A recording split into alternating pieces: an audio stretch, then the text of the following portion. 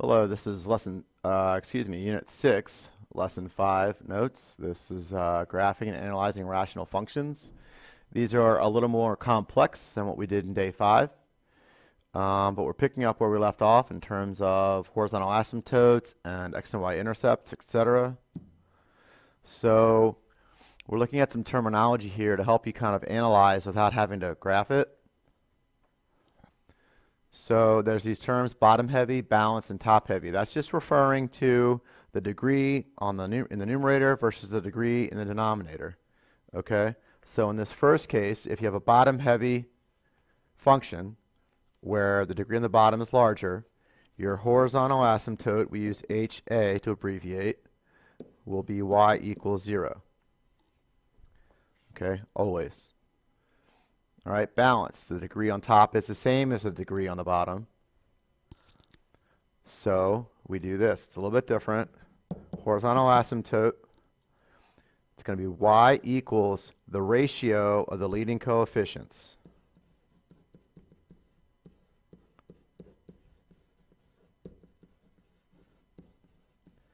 Coefficients. In this case, that's two-thirds. So that is your horizontal asymptote. If it's top heavy, the, the degree on the top is larger than the bottom, you will not have a horizontal asymptote.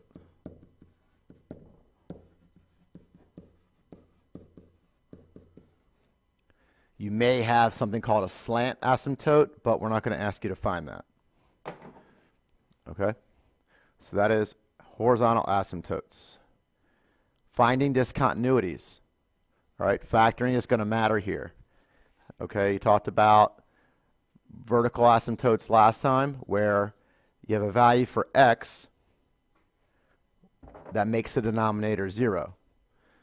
Okay?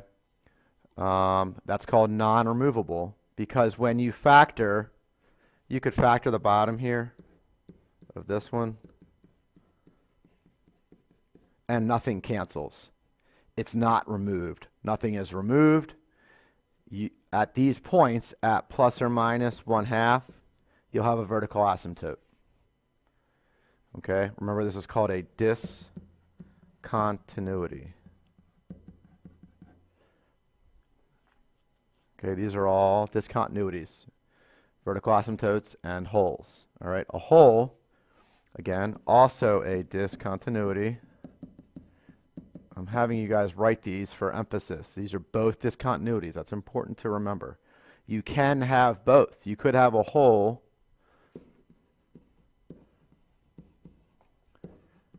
at one spot and a vertical asymptote in another. You could have both. You could have one or the other or, or neither. Okay? So you just got to, well, excuse me, you'll, you'll have uh, one or the other. Okay? Um, so let's look at when you'd have a hole. So this factors, some people are still having trouble with this. All right, you've just got to remember how to factor these perfect cubes.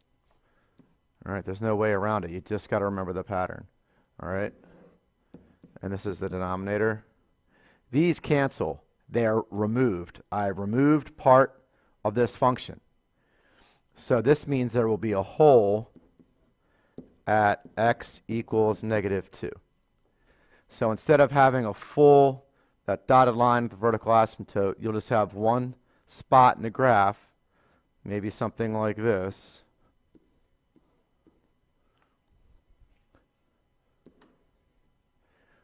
where x is not defined. Okay, That's called a removable discontinuity because we canceled part of the denominator. Okay, those are discontinuities. Removable, non-removable. It's important to make that distinction. All right. We'll also have to find x and y intercepts. That should be a review. So we'll walk through that as we go. All right, so let's graph some of these. Some of these uh, we'll need you to do by hand. We also want you to be able to plug it into the calculator and analyze it. Um, but for today, I'm going to walk through both of these different types of graphs so we can see all the different properties and how to go through the steps and how to identify all these uh, characteristics. All right, so the first thing we're looking at is horizontal asymptote. Again, look at the degrees. The degrees are the same, also known as balanced. So we look at the leading coefficients.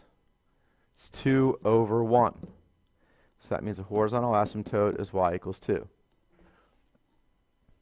Vertical asymptotes, or holes. So we've got 2x plus 1 over x minus 2. All right, we can't cancel anything. A lot of people still want to cancel these x's. You can't do that because you're adding and subtracting. These are terms. If these were factors, you could cancel. If it was 2x um, over x times x minus 2, something like that, then we could cancel these x's there. All right, but this, this is not like that. We can't do that. Nothing cancels. So you're going to have a vertical asymptote at x equals 2. Whatever makes the denominator 0 is where you'll have a vertical asymptote. If, you had, if we had removed x minus 2, it would be a hole at x equals 2.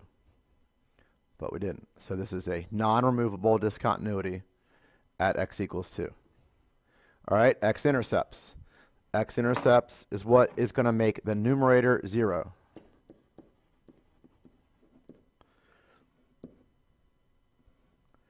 Equal to 0. Okay, we don't want the denominator equal to 0 because that makes the function undefined. We just did that up here. We want the numerator to be 0, so we do 2x plus 1 equals 0. All right, and you're going to get negative 1 half. Okay, so that's the point, negative 1 half, 0. This is, again, this is why it's important to remember intercepts, x-intercepts and y-intercepts are points because you're actually going to graph them. Okay, you can't just say one half. That doesn't make any sense as far as plotting the point. You've got to be specific. All right. Y-intercept. Y-intercept is when x equals 0. So you make x equal to 0.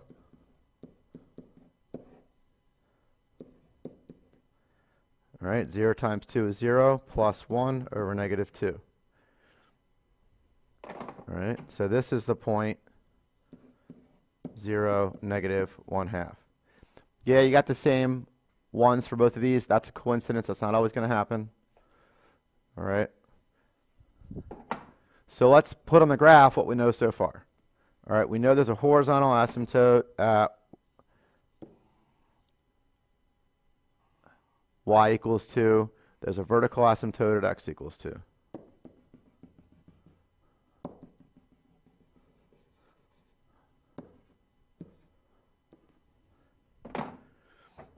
And we have a y-intercept at 0, negative 1 half, and negative 1 half, 0. All right. Remember, horizontal asymptote is reflective of the end behavior. It just tells us what the graph is going to approach as it goes really far to the left and to the right. Okay. So this just describes as it goes towards negative infinity we got to figure out what's going on on the right side of the graph. So we're going to plot a couple of extra points. All right. Again, this vertical asymptote x isn't defined there, so this graph has to stop. It doesn't, it doesn't actually reach that point. It gets infinitesimally close, but it never actually touches it. It's not defined at that exact point, x equals 2.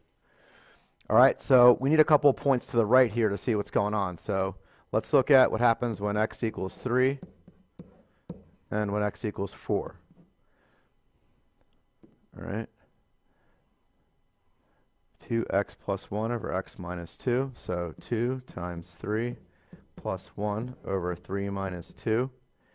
You're going to get 2 times 3 is 6, plus 1 is 7. 3 minus 2 is 1. So when x equals 3, y equals 7. Do the same thing for 4. 2 times 4 plus 1 over 4 minus 2, you're going to get 9 over 2. It's about, that's 4 and a half. All right, so let's plot these points. 3, 7, 3, 1, 2, 3, 4, 5, 6, 7, and then 4, 1, 2, 3, 4 and a half. All right, again, the vertical asymptote. The graph has to approach that vertical asymptote but not touch it it's got to approach the vertical asymptote, but not touch it. All right?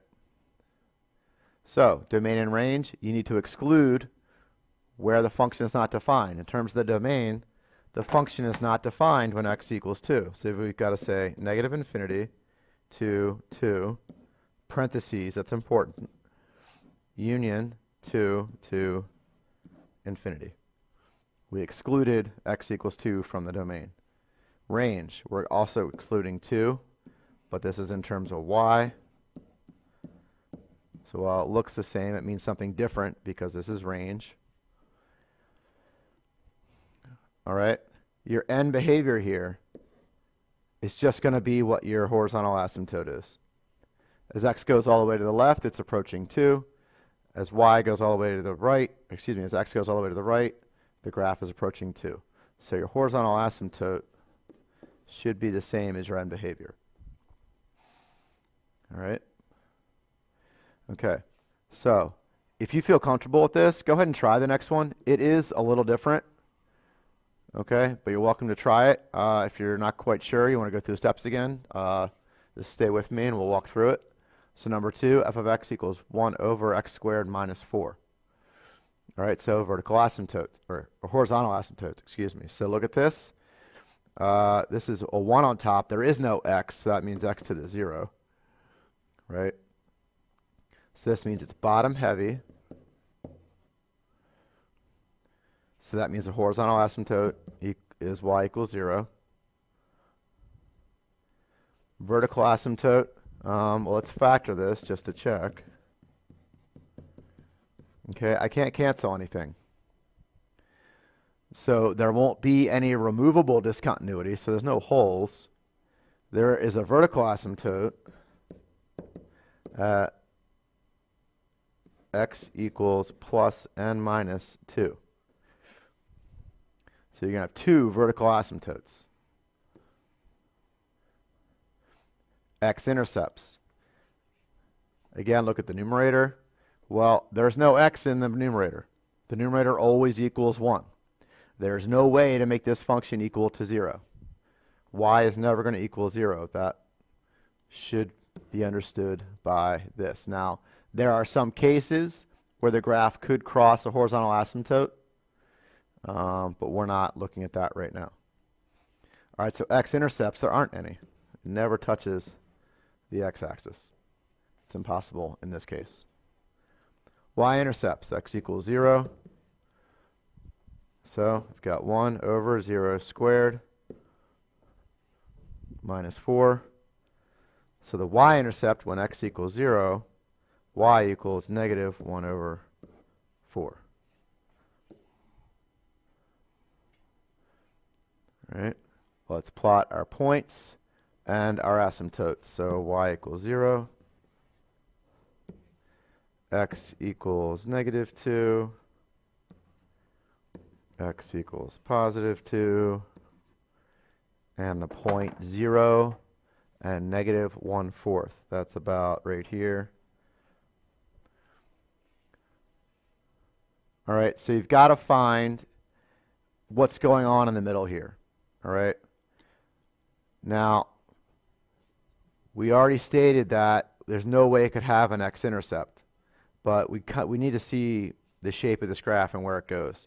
So we need to figure out, let's do one point to the left of that first asymptote. Let's do two points in between. And let's do one more to the right, just to get an idea of where this graph is. Okay. All right, so I'm going to just talk through these. If you need to write these down, pause it and, and check your work and see where these end up, that's fine. But I'm just going to talk through them. So negative 3. All right, well, negative 3 squared is 9. So 1 over 9 minus 4 is 1 over 5. All right, well, if negative 3 squared is 9, positive 3 squared is also 9, so we're going to get the same thing for positive 3. Pot, so that means 1 and negative 1 are also going to have the same y value. All right? So let's put in let's put in 1 for x you're going to get uh, 1 minus 4. That's negative 3 on the bottom. So these are going to be negative 1 third.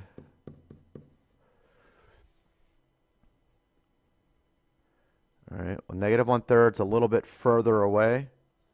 A little bit farther away than negative 1 fourth. So that's about here and here.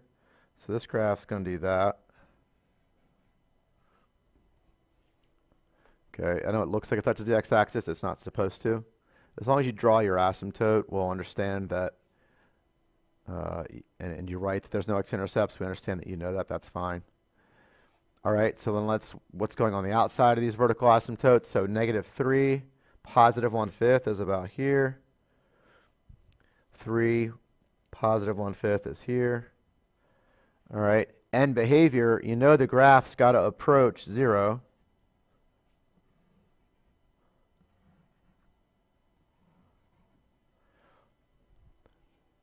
Okay, so in the green there, that is your graph for this function. You can plug it in your calculator and check it if you want. That's something you should be able to do. Make sure that matches up. Let's check the